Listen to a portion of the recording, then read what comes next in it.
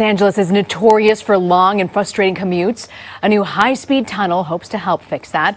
A warning though, the video posted on creator Elon Musk's Instagram page may cause motion sickness or even seizures. You may want to look away.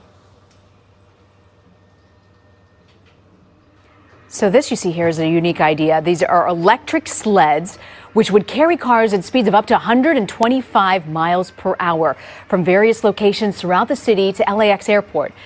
This could cut time from traffic from upwards of 45 minutes down to just five.